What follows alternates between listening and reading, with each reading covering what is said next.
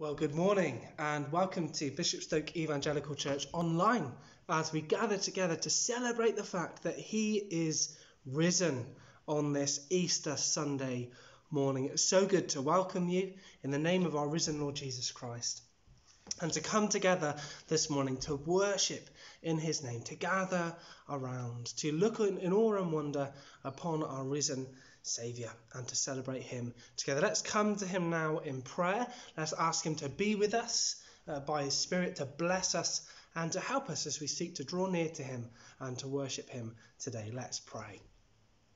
Lord Jesus, we praise you and we thank you that you have risen from the grave.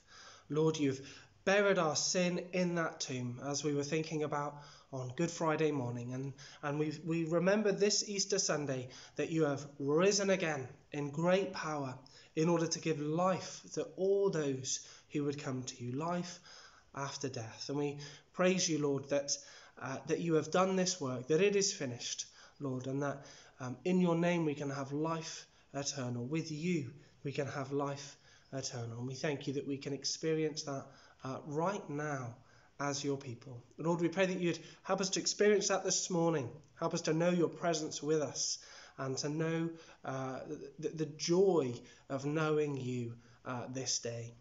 Be with us, Lord, and bless us and help us. Uh, this morning we ask, and we ask all of these things for your glory.